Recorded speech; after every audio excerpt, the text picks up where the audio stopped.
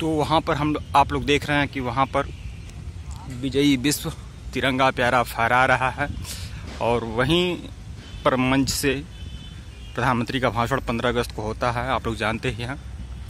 कई एकड़ में फैला हुआ है पूरा का पूरा लाल किला। दूसरी बार ऐसा हुआ कि मैं यहाँ पर लाल किला में आया हूँ। और मैं लाल किला पर दो वीडियो भी आप लोग को आप लोगों के लिए बना चुका हूँ। जहाँ मैं बताया हूँ कि क्या बोलते हैं कि लाल किला में एंट्री फ़ीस कितनी लगती है, प्रवेश शुल्क कितना लगता है, अगर आप लाल किला आइए। और फिर मैं एक और लाल किला की विशेषता के बारे में आप लोग को जानकारी दिया कि यह पूरा का पूरा जो लाल किला है, यह एक, इसके चारों ओर लंबे चौड़े गड्ढे हैं जो हर किला की विशेषता होती है। जो भी किला होती है, उसकी विशेषता होती है। उसके पीछे के रीजन क्या है, वो भी मैं आप लोग को बताया। तो ये आप लोग देख सकते हैं। आइए, मैं टिकट ले सक, ले चुका हूँ और टिकट की फ़ीस जो थी, वो पचास रुपये थी।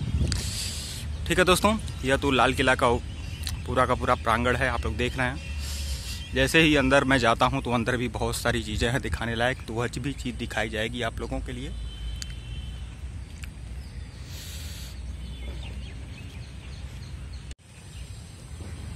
तो यह आप लोग देख रहे हैं पूरा का पूरा लाल किला।